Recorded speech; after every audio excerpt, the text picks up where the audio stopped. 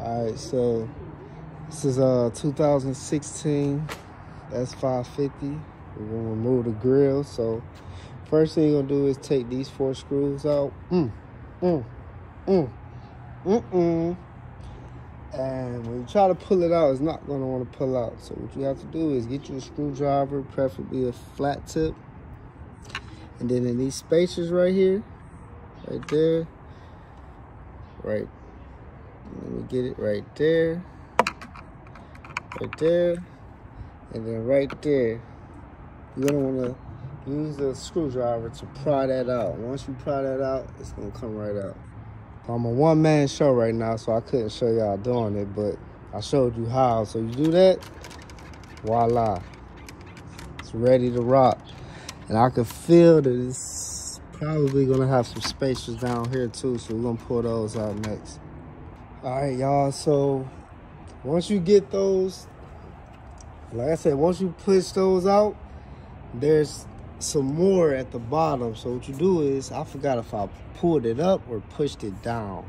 It's four of those. It's one, two, three, four. you do that, the whole grill comes loose. Have to disconnect these wires. This is your ACC.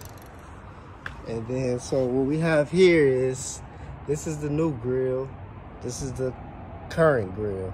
So we're just gonna take this housing, unscrew that with an Allen wrench, or Allen key, well, not an Allen key, an Allen uh, tip. And then, so you see how this, we're just gonna put it right on there. And then this clip is gonna clip right there. Voila, we're gonna be good to go. Let's get it. So there you have it. Finished product. You know what I'm saying? Yes, sir. Yes, sir.